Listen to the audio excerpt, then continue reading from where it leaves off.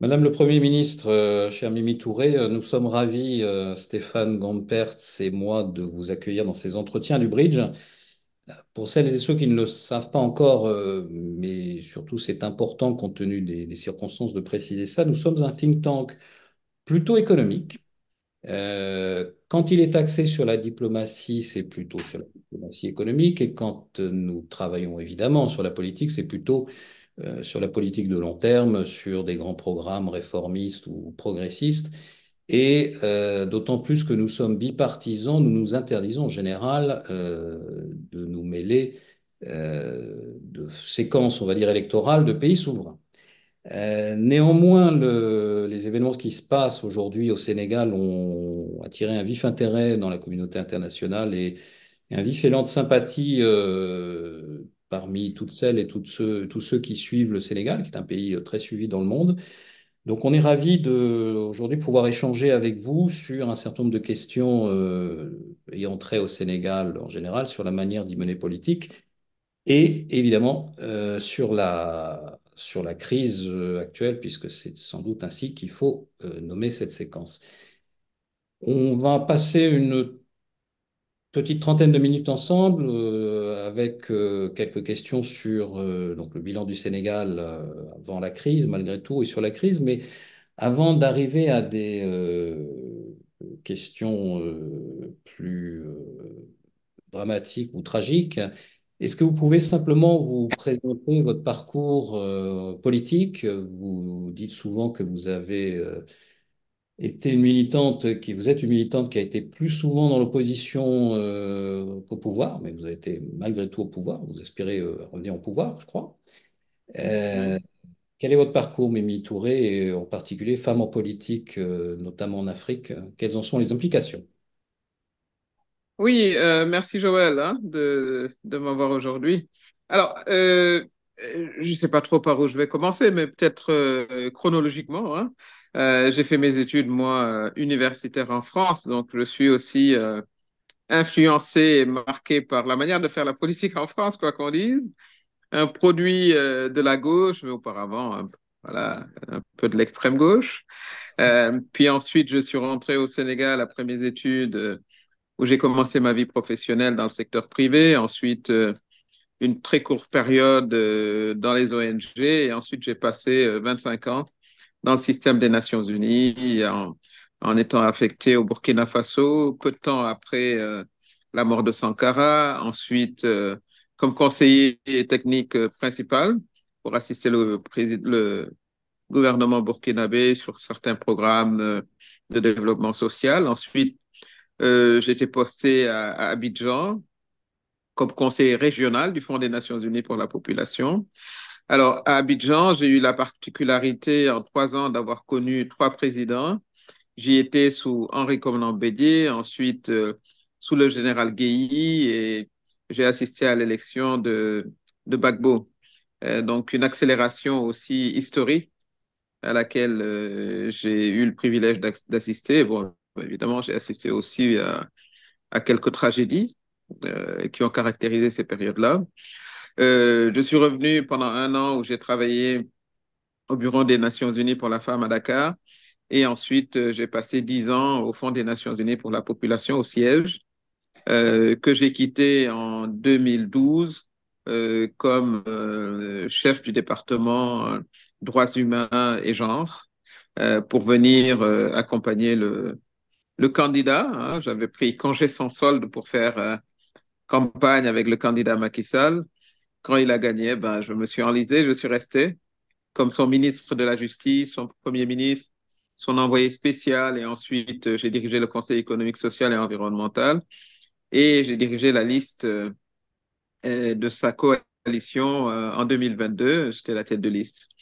Et ensuite, j'étais député, député indépendant, puisqu'on ne s'entendait pas sur les perspectives politiques. Il avait en tête de faire un troisième mandat. Et euh, j'étais député indépendant, mais euh, je crois que mes prises de parole là-bas l'indisposaient euh, beaucoup. Et euh, voilà, j'ai été expulsé de l'Assemblée nationale sur ordre de l'exécutif. Bon, c'est quand même pas courant, hein, si on considère la séparation des pouvoirs, mais bon, ça s'est fait. Au moment où je parle, d'ailleurs, j'ai aucune notification de l'Assemblée nationale, ce qui m'empêche de faire recours auprès du tribunal de la CDAO. Enfin bon, ça, ce sont des affaires politiciennes. Euh, mais j'ai assisté quand même aussi pendant, enfin, j'étais avec Macky pendant dix ans et euh, j'ai, euh, j'ai pu observer, euh, parfois en n'étant pas d'accord, mais bon, c'est pas moi qui étais élu, comme il me disait régulièrement, euh, des options euh, des options économiques qu'il a eu à prendre à un certain moment. Le programme que nous avions au départ, quand il était candidat, s'appelait Yon ou Yokote, le chemin euh, bon, comment on le dirait, c'est une combinaison Yokuté de croissance, de mieux-être, euh, quand on traduit hein, en français. Il y avait une forte, très forte euh, euh composante programme social. Euh, c'est là où on a eu les bourses familiales, l'assurance maladie universelle et, et beaucoup d'autres choses comme ça. Ça a duré, on va dire, un an. Et ensuite, bon, la, réalité économique nous a rattrapés parce que le fallait combler le déficit euh, budgétaire sur injonction, bien sûr, euh, de la, du Fonds monétaire. Et ensuite, ça a été le, le grand démarrage de tous ces grands travaux, dont certains éléphants blancs. Euh, ça, c'est mon, mon, c'est mon avis.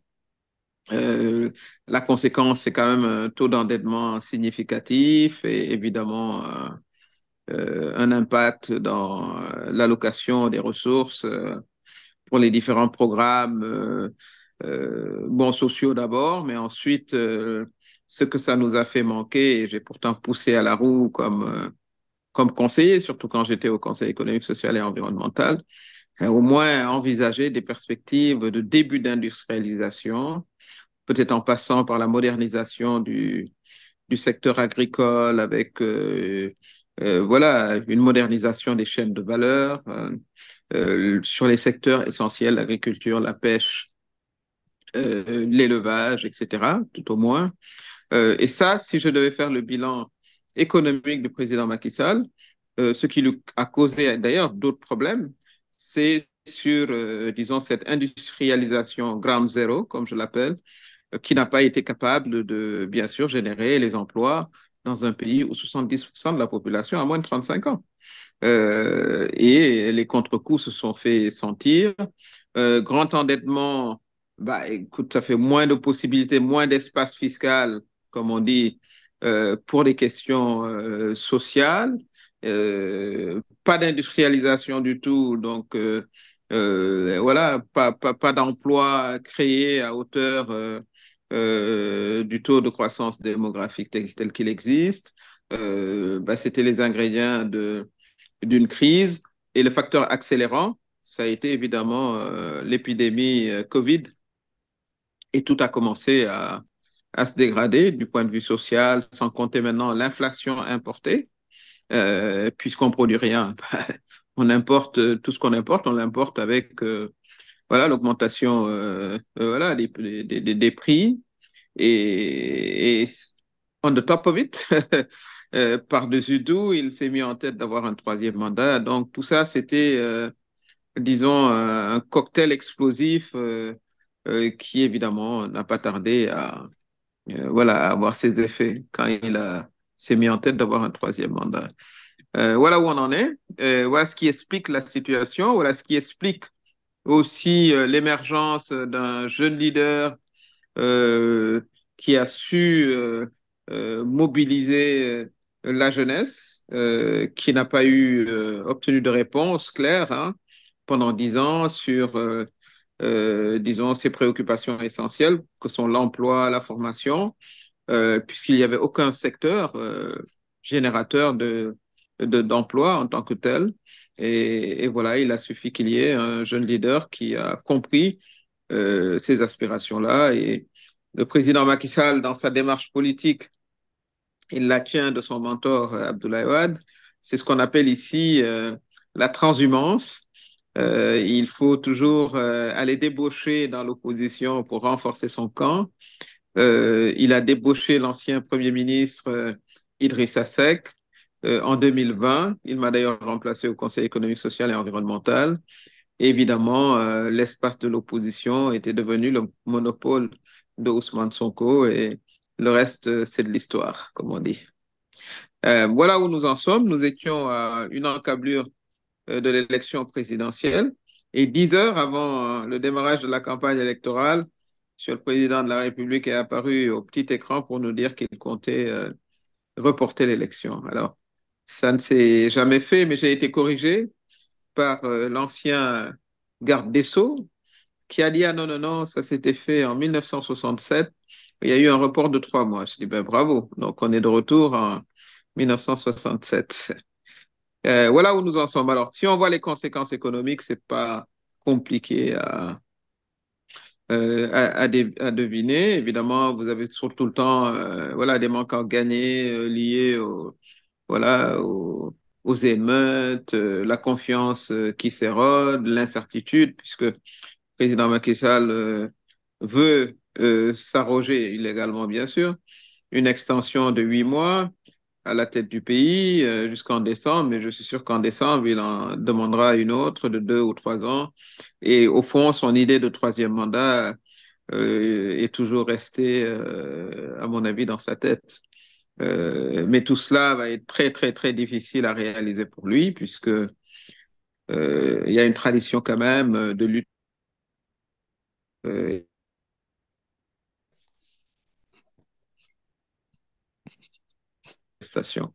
Il faut dire aussi que durant les manifestations du mois de juin, euh, ben, on a, le gouvernement a officiellement euh, déclaré qu'il y avait 16 morts, mais depuis 2020, la société civile, les organisations de droits de l'homme indiquent qu'il y aurait une cinquantaine de morts.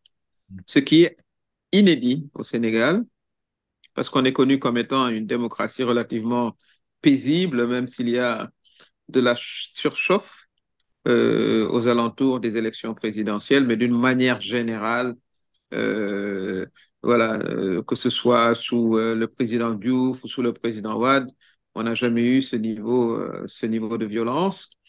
La conception que le président euh, Macky Sall a du maintien de l'ordre, je crois que c'est ça un peu la, raison et la cause, avec un usage excessif, excessif de la force de répression contre des manifestants qui généralement sont des jeunes. Hein, euh, voilà donc où on en est.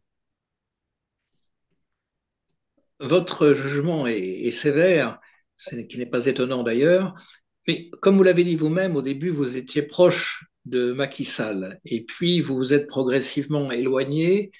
Qu'est-ce qui a joué le plus dans cet éloignement? Est-ce que c'est son style de son style de gouvernance, la tendance à, l'autoritarisme, ou alors c'est la pratique qu'il a développée vis-à-vis de l'opposition, ce que vous avez appelé de ce joli terme la transhumance, ou bien est-ce que c'est la, substance des projets, les, des projets qui étaient trop dispendieux Vous avez notamment évoqué des, éléphants blancs. Est-ce que vous pourriez aussi nous donner quelques exemples? Alors, euh, tout ça se passe pas du jour au lendemain, c'est progressif au fond. Parce que la, raison centrale pour moi, c'est euh, ce qu'on appelle ici l'hyperprésidentialisme. Euh, c'est un peu à l'image de la Ve République française, euh, et je crois que l'inspiration nous vient de là d'ailleurs, où le président de la République est le président du Conseil supérieur de la magistrature, il nomme les juges et les procureurs, il est euh, euh, évidemment, le chef d'État, celui, le, chef des armées, il nomme aux fonctions civiles et militaires, il est l'ordonnateur principal des dépenses. Bon, évidemment, il a beaucoup trop de pouvoir entre les mains.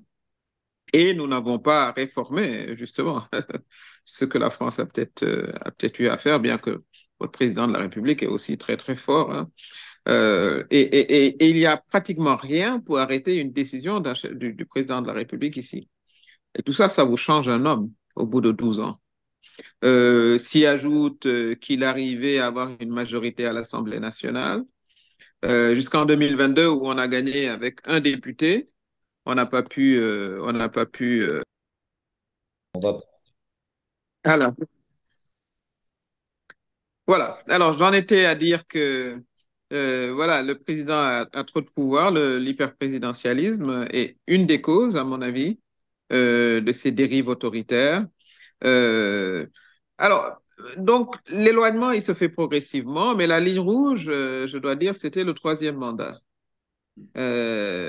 Nous étions ensemble lors des manifestations contre le troisième mandat de Abdoulaye Wade, etc. Et, c'est vraiment la, la, la, fracture s'est faite à ce moment-là. Et quand j'ai dirigé la liste, j'ai continué, quand on, a, quand on a gagné, à dire que, bon, il ne devait pas faire de troisième mandat. Évidemment, je ne suis pas devenu président de l'Assemblée nationale parce que tout de suite, on aurait eu une crise institutionnelle entre le président de l'Assemblée nationale et le président de la République, ce que j'ai compris. Euh, je suis devenu député indépendant, euh, mais ça, ça n'avait pas suffi. Donc, c'est un autoritarisme qui s'est euh, progressivement installé au fur et à mesure que le président découvrait l'ampleur de sa, propre puissance. Et évidemment, vous avez les entourages euh, qui, contribuent hein, à enfler l'ego du président de la République. Sous le président Macky Sall, on l'avait observé déjà sous le président Ouad. Par contre, on n'avait pas vu ça sous le président Diouf. Un envahissement euh, de la famille dans l'espace, euh, dans l'espace étatique. Son beau-frère était au Conseil des ministres, son propre frère euh, était, directeur général de la quête de dépôt et de consignation, où on brasse énormément d'argent, les cousins, etc. Et, tout ça a aussi entraîné une, désaffection du, public, hein, des populations. Parce que justement, on s'était battu contre, contre Karim Ouad, on avait, on avait dénoncé le projet euh, voilà, d'héritage monarchique, c'est comme ça qu'on l'appelait hein, à l'époque. Euh, mais comme les Sénégalais aiment bien euh, disons, les railleries. Bah, avant, on, se battait contre un fils, maintenant, on se bat contre toute une famille. Euh, donc ça, c'est également un peu le, népotisme qui s'est progressivement installé, ce qui est assez surprenant. Parce que le président Macky Sall est relativement jeune, hein, il est né après les indépendances, il a 63 ans. Moi, je considère qu'il a ensuite euh, il s'est habillé de tous les oripeaux d'un autocrate de 90 ans, un autocrate euh, africain de 90 ans, euh, avec, euh, mais tout s'est emballé avec, comme j'ai dit, cette tentative de troisième mandat.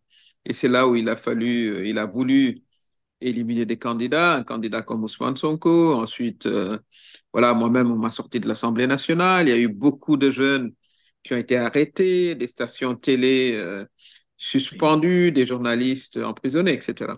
Euh, donc voilà ce qu'il nous a. Pardon? Il y avait eu Khalifa Sall avant aussi. Khalifa Sall et Karim Ouad, ils ont été, eux, euh, euh, arrêtés et emprisonnés suite à des audits. D'ailleurs, on m'a fait passer par les mêmes audits. Hein. Moi, j'ai été audité par Macky Sall pendant trois ans. Bon, hein, vous ne pouvez pas inventer des détournements quand il n'y en avait pas. Par contre, eux, ils avaient quand même, euh, bon, certainement, voilà, il y a eu des éléments à charge, on va dire. Euh, et, voilà comment on s'est retrouvé dans cette, situation. Alors, pour revenir sur l'aspect économique qui est important, euh, quand je parlais d'éléphant blanc, un des...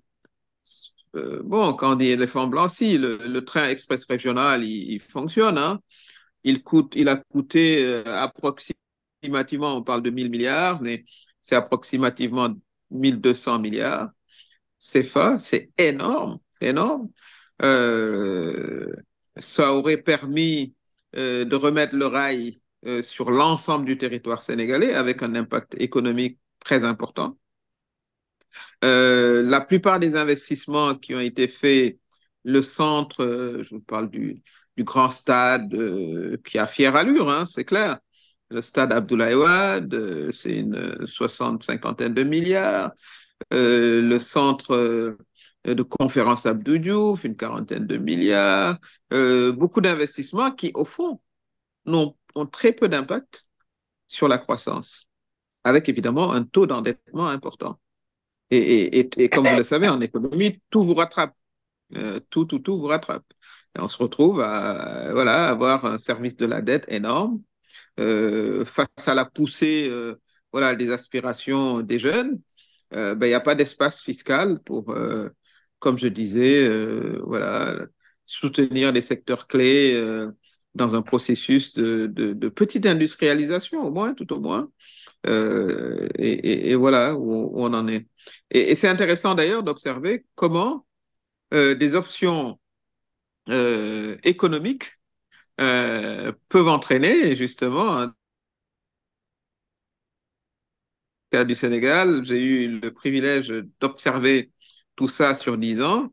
Et, et, et c'est clair que la question dans des pays euh, en développement essentiellement jeunes, euh, avec un déficit d'infrastructure. Du point de vue, d'un point de vue du chercheur, certainement, ou de la prospective, euh, c'est de voir comment il est fondamental, à mon avis, de pouvoir avoir un bon équilibre d'une combinaison dans des pays euh, voilà, en développement avec une population extrêmement jeune, ce qui est euh, spécifique à l'Afrique.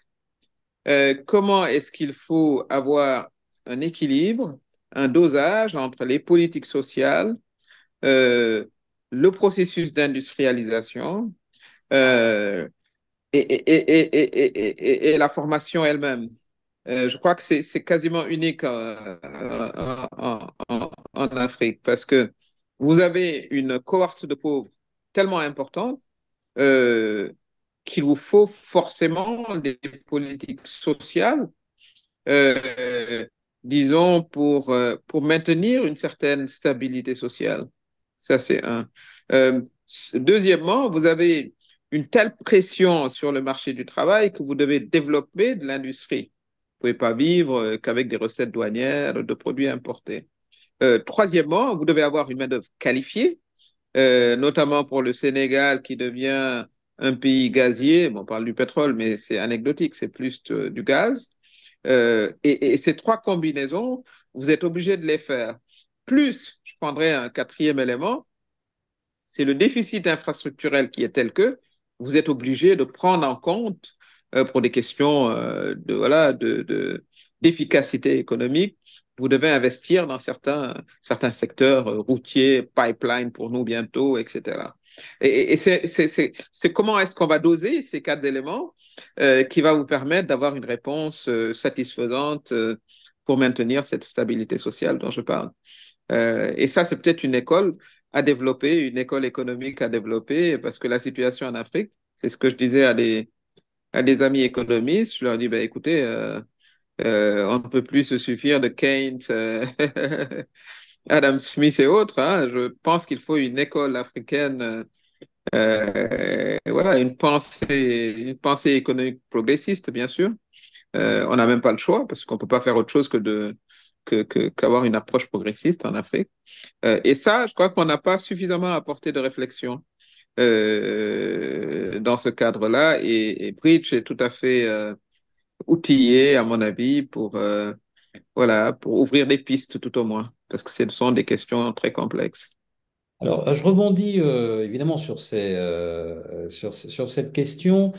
On a peut-être là, je ne sais pas d'ailleurs, le, des éléments de ce qu'aurait été le programme empêché de la, de la candidate Minata Touré, mais euh, ces questions sont au-delà de ça très importantes parce que finalement, euh, ces options et puis l'équilibrage des options va aussi fonder l'avenir. Au-delà du dénouement de cette crise, on reviendra sur la crise euh, évidemment, mais c'est aussi ces options-là, le dosage de ces options qui vont fonder l'avenir. Alors avant de revenir sur les options, je voulais juste pour clarifier, bien comprendre une chose. Finalement, vous ne remettez pas en cause tellement le niveau d'ambition, d'autant que le niveau, y compris le niveau d'endettement, aurait pu être refinancé ou sera refinancé par euh, l'avènement du gaz suivant, mais c'est vraiment la question du curseur entre, euh, entre les différentes options et peut-être aussi de la séquence. Alors, euh, même si cette école africaine euh, d'économistes qui est appelée de vos voeux est peut-être pas encore complètement mise en, en place, encore que il y a énormément de réflexions économiques sur, sur le continent et dans la sous-région, Qu'est-ce qui finalement aurait coincé dans euh, l'ordre de ces séquences? Est-ce que c'est simplement le Covid qui aurait arrêté les choses? Est-ce que l'analyse d'une croissance sans emploi qui est posée euh, alors par le FMI, mais par d'autres, et aussi par beaucoup d'économistes africains et africaines depuis des années, est-ce que finalement on ne paye pas aujourd'hui sur le plan économique euh, des choix, euh, des arbitrages qui date déjà d'il y a quelques années, peut-être même de la, du premier mandat. Non, je suis tout à fait d'accord. Enfin, il est l'héritier de, de, de, de Diouf et de Wade, hein, qui n'ont, comme j'ai dit, euh, qui n'ont pas perçu l'industrialisation comme, euh, comme, euh, comme un objectif fondamental dans un pays extrêmement jeune. Comment vous allez créer des emplois? D'autant plus que le taux de fertilité n'est pas encore maîtrisé. Quoi qu'on dise, on est à 2,9 de taux de croissance démographique, ben, écoutez, quand vous faites même du 5%, la moitié est de la partie, plus de la moitié. Euh, vous, y, euh, vous y ajoutez euh, un déséquilibre dans l'aménagement territorial, avec une presqu'île, la capitale, qui est quasiment voilà, une bombe qui attend d'exploser. ça, ça complique les choses. Alors, moi, je crois qu'il y a eu une question d'équilibrage, c'est clair. Euh, je pense qu'il y a eu ce tout euh, euh, infrastructure qui a également posé un gros problème. Et quand je parle d'éléphant blanc, moi, je suis pour des infrastructures productives. Sinon, elles n'ont pas de sens. Ah, oublié l'aéroport, mais l'aéroport, ça a été commencé par, par Abdoulaye Wade. Que, voilà, donc, vous avez des investissements de prestige pour l'essentiel. Et ça continue. Hein. Là, on a euh, le, le, BRT, c'est les bus rapides de transit. Euh, quand vous venez à Dakar, tout est en chantier. Bon, ça commence à se terminer. C'est absurde parce que euh, il y a une nouvelle capitale en construction, Diamniadio, mais les investissements se font toujours dans la capitale. Donc, euh, c'est un peu de l'illogisme. Euh, vous faites 1200 milliards sur un tronçon de 60 km, alors que vous aurez pu mettre le rail qui, relierait, qui aurait relié toutes les capitales régionales, par exemple, avec un impact du point de vue des échanges intérieurs, etc. Donc, je pense que le président Macky Sall, qui est un ingénieur, est un peu victime de sa formation d'origine. Euh, c'est le premier ingénieur, d'ailleurs, à la tête du Sénégal. Euh, comme disent les Américains, quand vous avez un marteau entre les mains, toutes les solutions pour vous ressemblent à des clous. Euh, donc c'est un peu ça. Lui, il voyait voilà le problème comme étant strictement infrastructurel. Et comme il était dans une présidence forte où bon, il décidait quasiment, euh, quasiment tout seul, hein, comme, il, euh, comme la Constitution le lui permet. Euh, ben, il s'est trompé tout seul aussi. donc, je crois que c'est ça. Il a, il a, fait de bonnes choses hein, ben, aussi. mais c'est la fin qui compte, en réalité. Parce que la postérité, elle se, elle, se, elle, se, elle se fixe à la fin, au fond. c'est clair qu'il y a eu du point de vue des infrastructures euh, une, euh, une évolution, mais quand je regarde euh, l'index de développement humain du PNUD, le Sénégal n'a pas décollé. Or, finalement, on gouverne pour qui? On gouverne pour les populations, tout au, fond, finalement. Alors justement, revenons aux populations, à une dernière question d'économie et en lien aux populations. L'industrialisation peut être un programme de gouvernement. Est-ce que c'est un programme politique? Est-ce qu'on se fait élire euh, sur euh, l'industrialisation? Est-ce que ça parle à la jeunesse euh, qui va être le voteur, le votant ou la votante médiane? l'industrialisation, est-ce que, alors cette campagne ne démarre pas, on ne sait pas s'il faut poser la question pour cette campagne-là ou à l'avenir, mais est-ce que, est-ce que le thème de l'industrialisation et de l'emploi, bien sûr, lié à cette industrialisation, peut vraiment être moteur pour la jeunesse peut constituer une refondation de la politique au Sénégal euh, Non, pas forcément. Mais par contre, le thème de l'emploi, oui. Euh, parce qu'on a le phénomène des boat euh, people, là.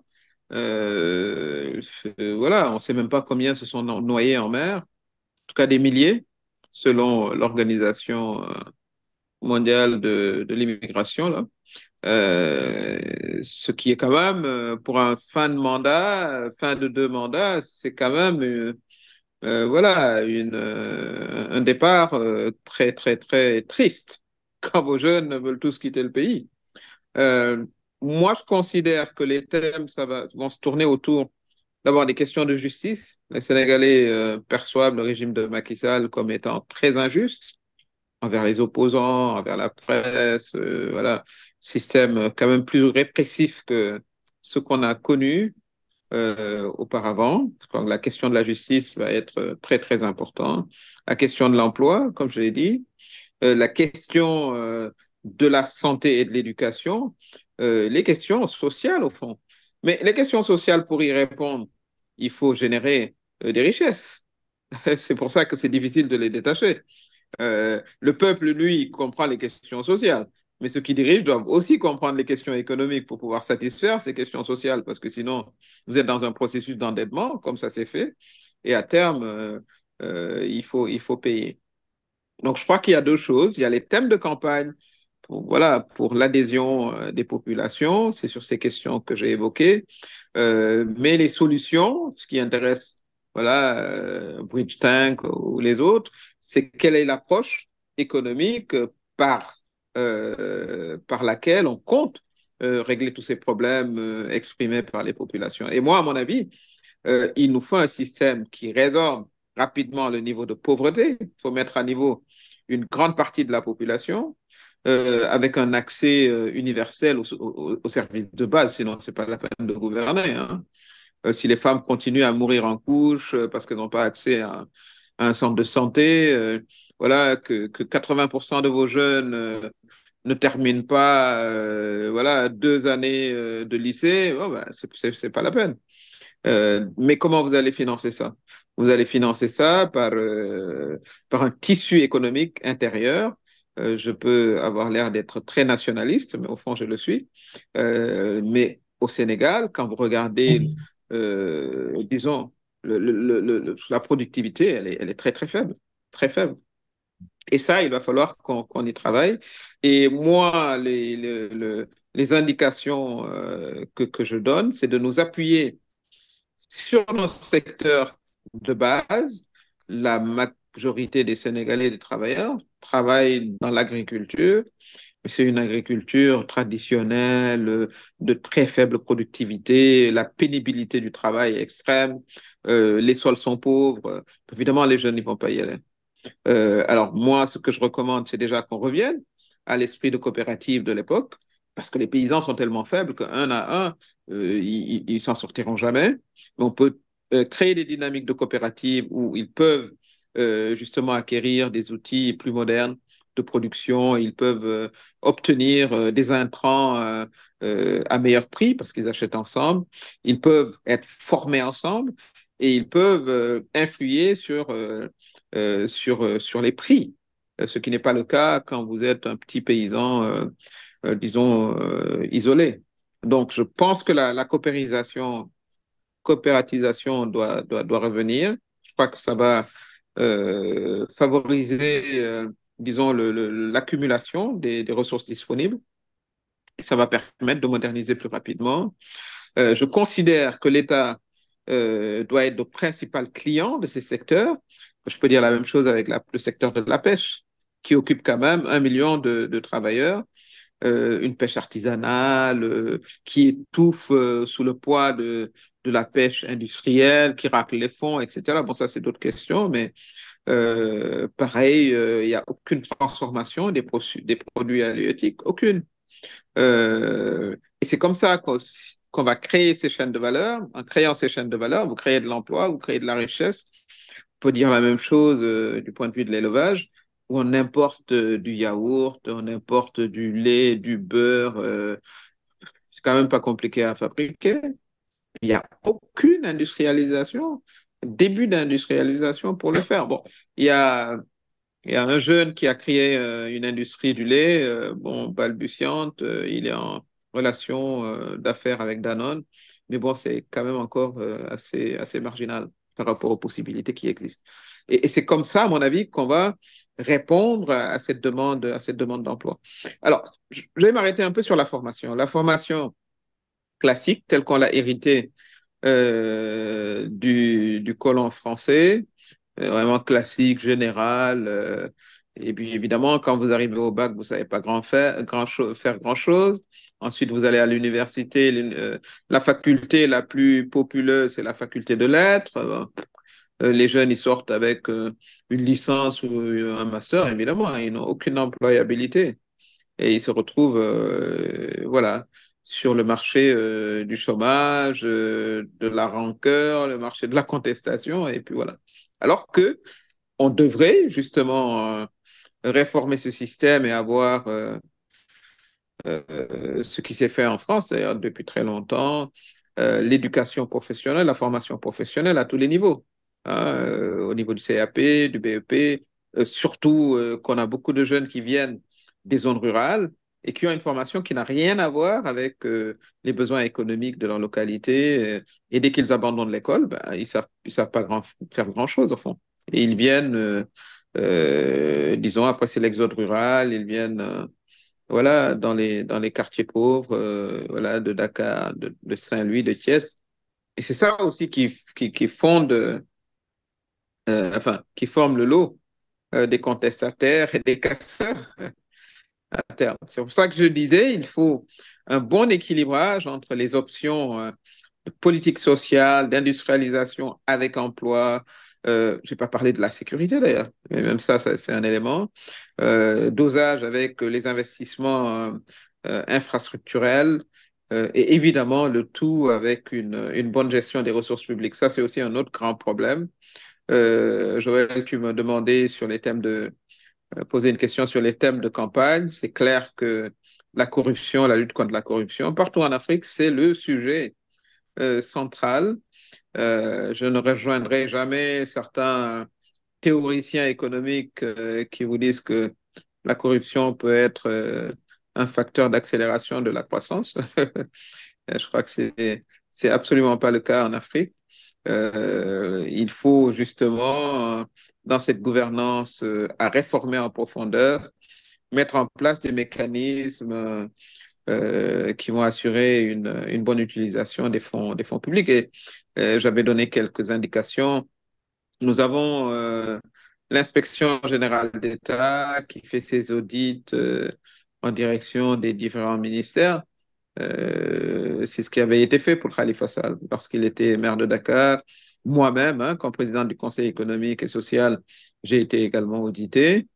Euh, et, et, mais il faut que ce soit quelque chose de récurrent et que ce ne soit pas des outils politiques au fond. Mmh. Et la meilleure manière de le faire, c'est euh, au niveau de chaque ministère, euh, avoir une cellule d'inspection interne où on affecterait justement ces inspecteurs généraux pour valider la dépense du ministre, exiger, disons, faire du contrôle a posteriori euh, et un audit annuel. Donc ça, c'est également des mesures euh, pratiques qui permettent aussi de, régler cette grande question de, de, de, de la malgouvernance qui gangrène aussi euh, les pays africains et le Sénégal ne fait pas l'exception. Si vous me permettez, je voudrais revenir à la politique, j'ose pas dire politicienne. Je voudrais vous demander comment vous considérez le rôle actuel des partis politiques au Sénégal et puis ensuite aussi le rôle des mouvements religieux. Mais sur les partis politiques, il y a, semble-t-il, actuellement un paradoxe. Le parti qui semble avoir, dans l'opinion, notamment chez les jeunes, le, vent en poupe, c'est le PASTEF. Or, c'est un parti officiellement dissous, ce qui est, une situation un petit peu étrange. Mais comment donc jugez-vous l'impact de, ce PASTEF? Et vous avez, vous avez parlé tout à l'heure d'Ousmane Sonko, et aussi euh, l'impact ou l'importance ou l'action des autres partis politiques.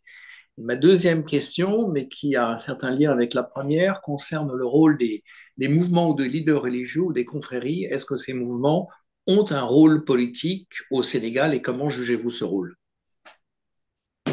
Alors, je vais commencer par la deuxième question pour arriver à la première. Euh, au moment où on parle, euh, l'influence religieuse euh s'est beaucoup, beaucoup, beaucoup amenuisée. Mm. Euh, pour exemple, le calife général euh, de Touba, qui est la plus grande confrérie du Sénégal, avait interdit toute activité politique euh, dans la ville de Touba, qui a la particularité d'être un titre foncier qui appartient au calife. Euh, mais euh, les manifestations d'il y a deux jours ont été massives, mmh. encore une fois, dans la ville de Touba. C'est vous dire, hein. Euh, un autre exemple, c'est qu'il soutient souvent, euh, il a beaucoup soutenu le président Macky Sall, mais à l'arrivée, systématiquement, euh, lors de toutes les élections dernières, le président Macky Sall les a perdus dans la ville de Touba et de Mbaké. Euh, D'ailleurs, pour les élections législatives que j'avais dirigées, on avait perdu dans toutes les capitales religieuses. Vous avez voté pour l'opposition. Donc, ça vous donne une idée un peu de la situation. Alors, euh, le parti passé, j'ai expliqué au début de notre entretien euh, que Ousmane Sonko a occupé une place. Euh, D'abord, il était le seul dans l'opposition et il a fait de la lutte contre la corruption son cheval de bataille. Et effectivement, il y avait une très grande rancœur des jeunes, déjà, qui ne trouvent pas d'emploi et qui observent toutes ces, tous ces scandales financiers. Et il a pu capter euh, cet électorat qui est très nombreux. 70% de la population sénégalaise ont, a, moins de 35 ans. Euh, parti dissous, mais bon, vous savez, vous pouvez dissoudre avec un décret, mais vous ne vous pouvez pas dissoudre les cellules, l'engagement, euh, la détermination. Euh, je crois qu'au contraire, ça leur a attiré plus de sympathie, à mon avis. Et euh, bon, euh, Ousmane Sonko est en prison, il n'est pas candidat. Euh, son second est candidat en prison, ce qui est assez paradoxal quand même. Euh, et il n'y a pas de doute que si l'élection s'organisait aujourd'hui, il, gagnerait incontestablement. C'est d'ailleurs la raison pour laquelle, à mon avis, le président Macky Sall a reculé l'élection. Son candidat se portait très mal dans les sondages et je pense qu'il voulait le changer, euh, ou il veut toujours le changer. Euh, donc voilà où on en est. Euh, les partis classiques ont quasiment disparu. Euh, la jeunesse co considère qu'ils qu se sont fourvoyés dans des combinaisons, combines politiciennes. Le parti de Idrissa Seck, l'ancien Premier ministre, était dans l'opposition. Du jour au lendemain, on les retrouve avec Macky Sall. Voilà, donc les jeunes sont dans une, dans une posture radicale qui épouse également la stature de, de Ousmane Sonko et de Pastef. Voilà où on en est.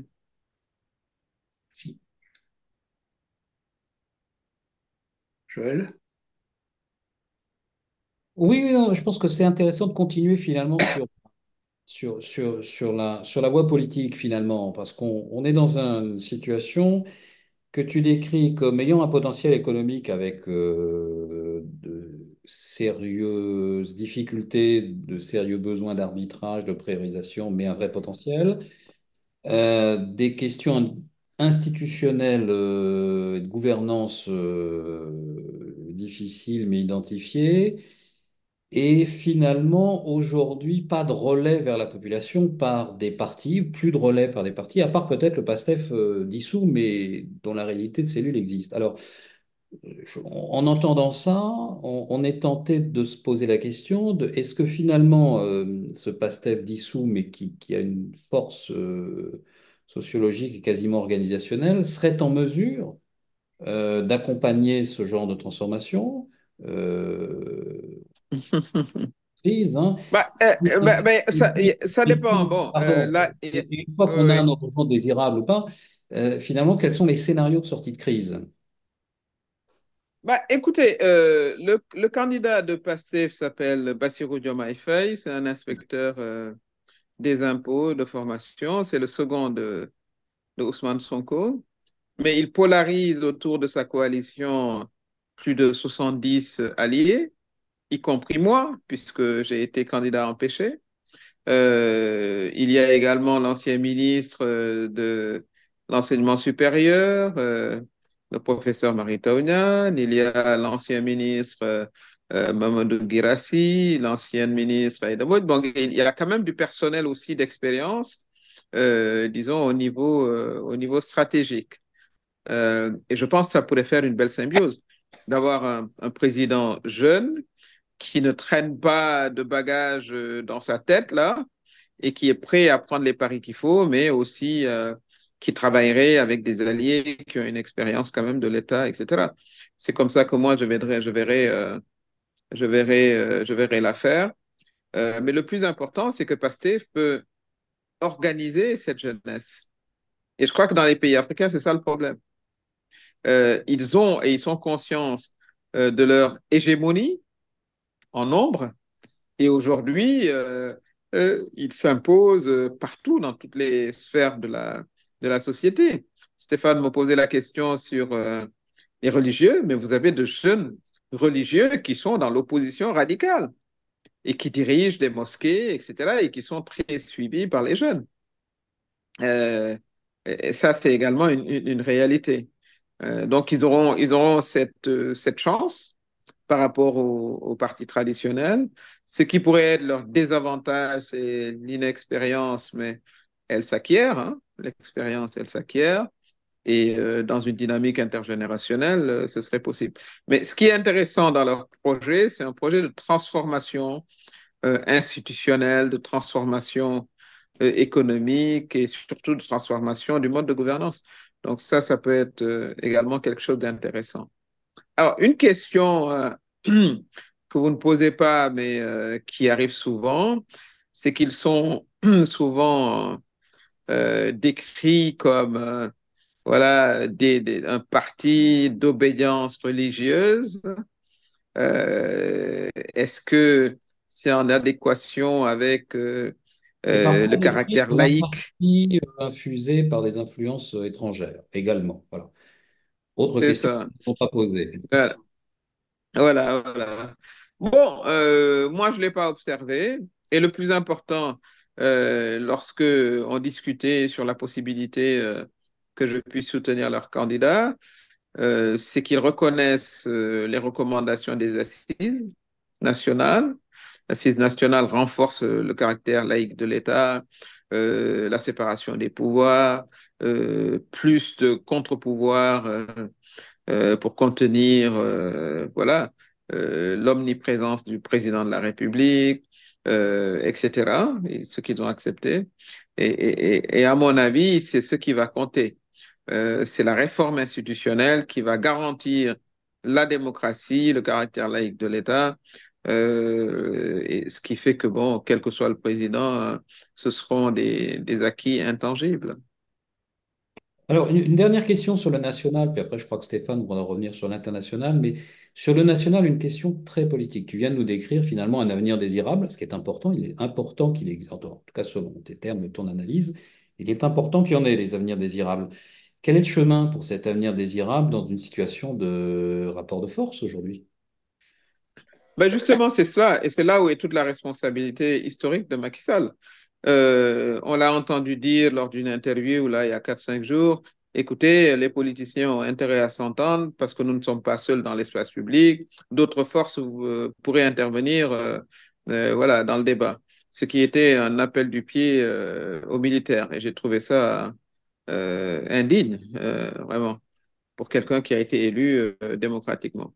Euh, le chemin, à mon avis, euh, dans cette situation, c'est que le président Macky Sall accepte de se retirer à la fin de son mandat, c'est-à-dire le 2 avril, et que d'ici là, une élection présidentielle soit organisée avec les candidats retenus par le Conseil constitutionnel. Même si moi qui vous parle, j'ai été euh, spolié, j'ai voilà, fait l'objet d'une triche parce que on voulait pas que je participe à l'élection, tout comme Ousmane Sonko qui lui est en prison euh, d'ailleurs. Euh, mais je pense qu'il faut aller à l'élection présidentielle et ensuite, on, fera l'évaluation, euh, l'audit, l'investigation de, ce qui n'a pas marché, de est-ce qu'il y a eu corruption du Conseil constitutionnel ou pas, tout ça pourra se faire après. Entre-temps, le président Macky Sall appelle à un dialogue, mais il a peu de chances d'être entendu, que ce soit l'ex-Pastef ou même Khalifa Sall a déclaré qu'il ne participerait pas à ce dialogue-là. Et euh, aujourd'hui, on, a une forte pression, on voit une forte pression de la communauté internationale contre Macky Sall, y compris un communiqué euh, euh, très, très dur de, de la CDAO, mais également de l'Union européenne, des Américains. Et la France, enfin, hier, a eu un communiqué un peu plus rigide. La France était sur une position relativement molle. Euh, et, je pense que voilà, euh, il faudrait amener le président Macky Sall à savoir qu'il ne peut pas étendre euh, son mandat en dehors des dispositions de la Constitution. Donc, dans le court terme, c'est ça, à mon avis, la voie de salut. Un mot sur le, justement sur le contexte régional et international. Vous avez largement répondu par avance d'ailleurs à, ma question. Euh, que, quelle peut être l'influence de ce contexte régional dans au sein de la CEAO Naturellement, et les crises se sont succédées.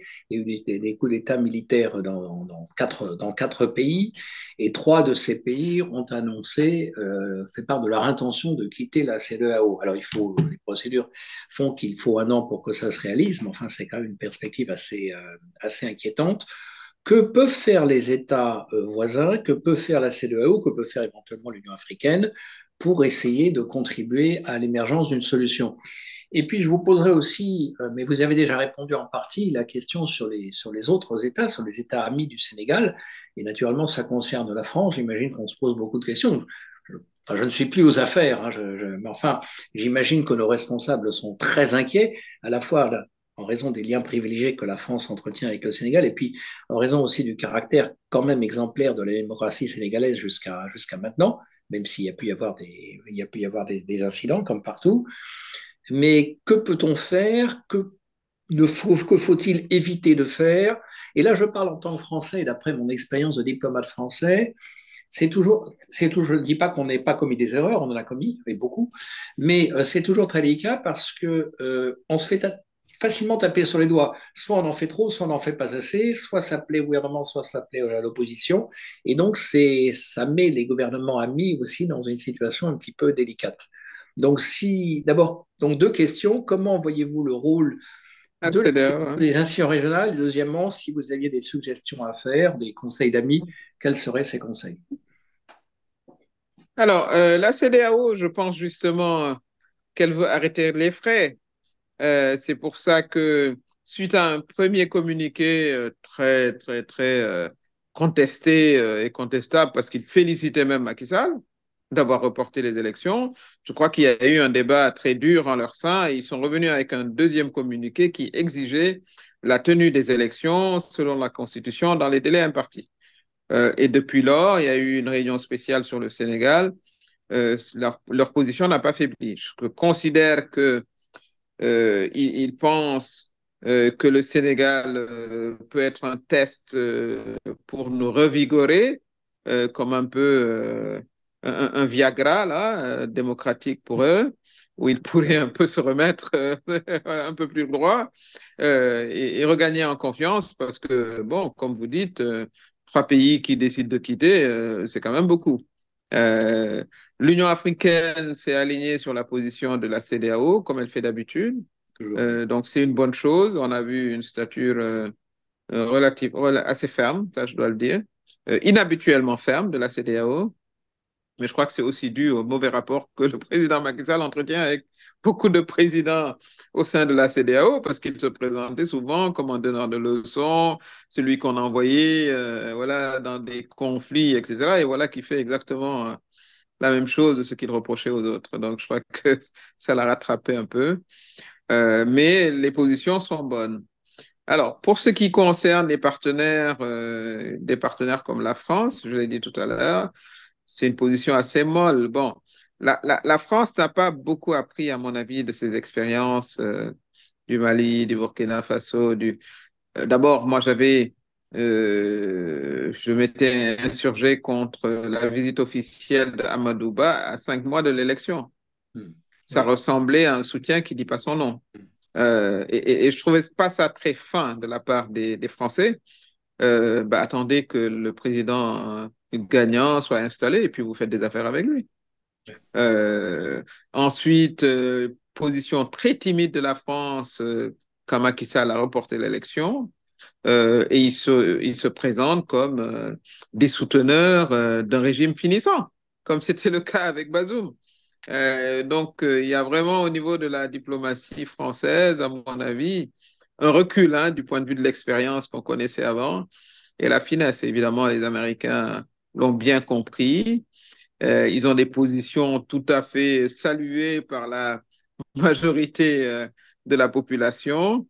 Euh, et, voilà où, nous en sommes. Donc, euh, si j'ai un conseil à donner à nos amis français, euh, mettez-vous plus du côté des populations que du président en exercice. euh, voilà, éviter de refaire la même erreur qu'au Niger.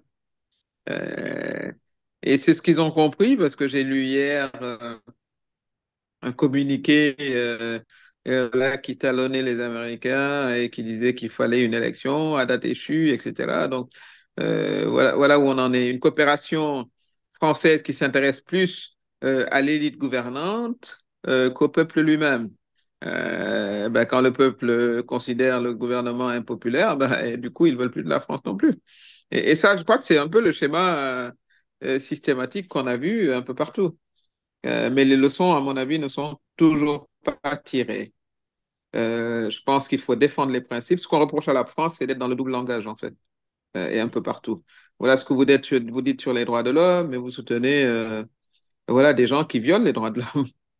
Euh, etc. Donc, ce, double langage-là, faut qu'il faut l'arrêter un peu. Il faut, euh, faut être plus en, en ligne, en norme, euh, euh avec, avec les, les principes et, se mettre euh, du côté des, populations hein, qui finissent par triompher de toute façon. Donc, moi, c'est un peu ce que je vois.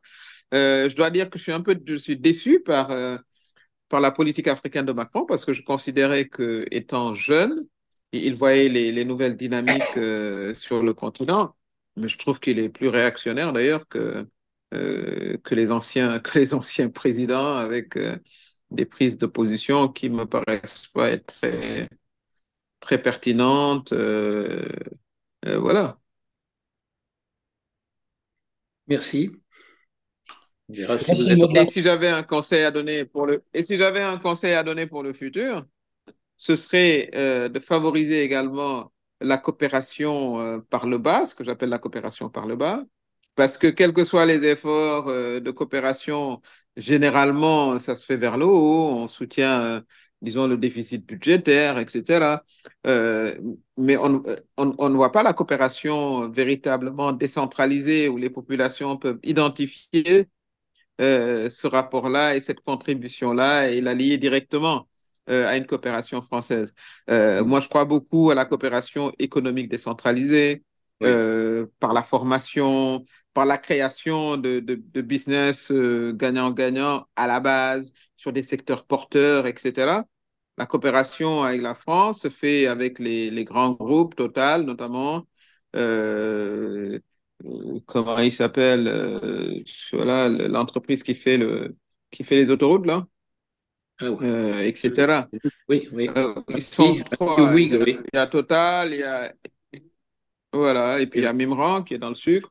Donc c'est souvent euh, la coopération euh, avec les gros groupes. euh, euh, d'ailleurs, euh, les populations, enfin le, le secteur privé le voit pas forcément d'un bon œil parce qu'il considère que voilà, il rafle tout et euh, les sous-contractants euh, voilà, se plaignent d'avoir des miettes, etc. Alors moi, ce que je verrais, c'est une, une, une, une, coopération et, et, et, je pensais justement qu'avec euh, qu'avec Macron, ça se passerait comme ça euh, au niveau, euh, disons, des, au niveau des villes, au niveau voilà, des, petites et moyennes entreprises, avec du co-investissement, de la co-formation, du transfert technologique.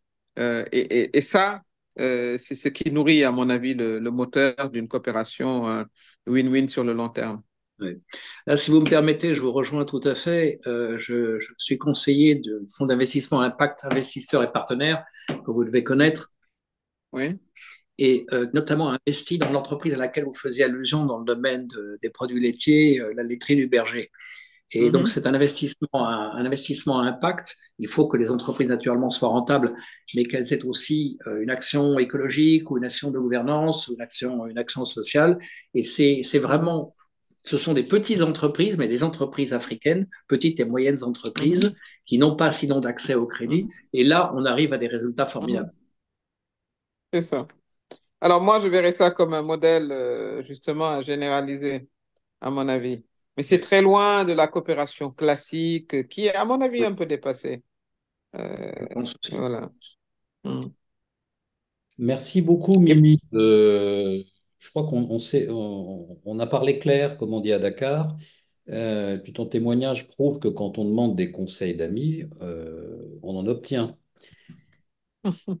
Ça va, les... Mais tu sais, euh, c'est justement ce que je disais une fois, euh, je crois que c'était dans des, enfin, euh, j'étais invité à un déjeuner d'anciens ambassadeurs et je leur disais, c'est fou comme la France n'arrive pas à apprécier les, les avantages comparatifs qu'elle a dans sa relation avec le continent. par contre, ce qui est clair, c'est que il y a aussi une inaptitude à observer les changements euh, qui se déroulent sous nos yeux depuis 10, 20 ans même, je dirais. Euh, et, euh, c'est comme s'il y avait une, impossibilité de changer de paradigme complètement.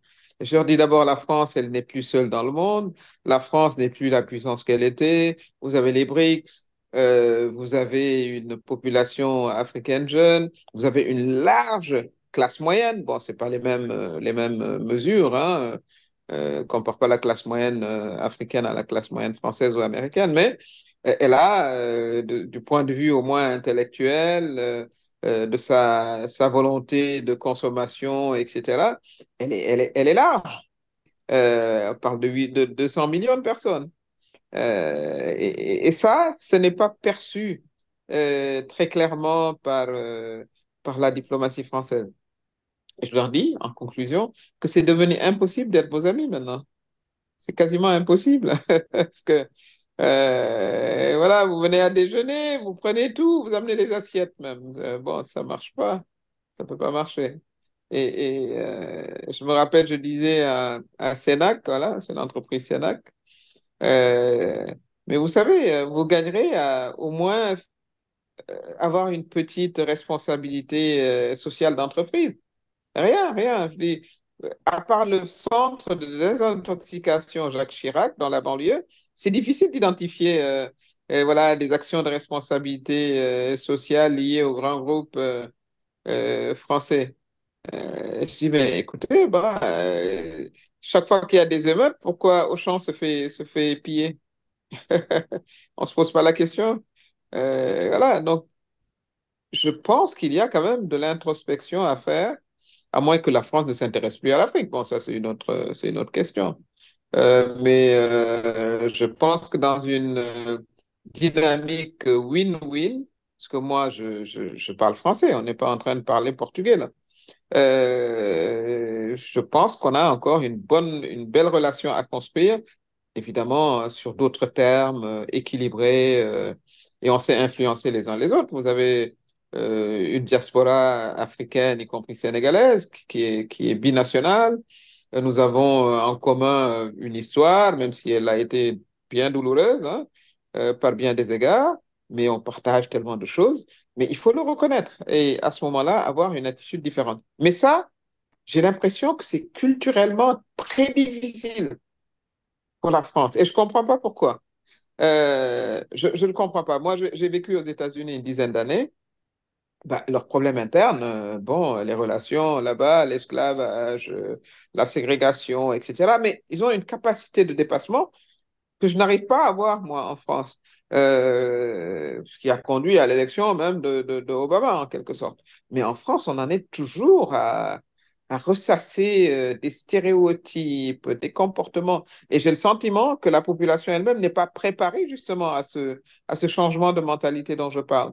Elle n'est pas préparée ni par ses élites, euh, ni par les médias, et pas par les politiciens. C'est en ce, sens-là que je disais que Macron était quand même pour moi une déception.